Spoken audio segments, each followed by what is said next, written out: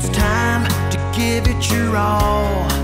Don't let one mistake, let one mistake turn into two. There's no guarantee.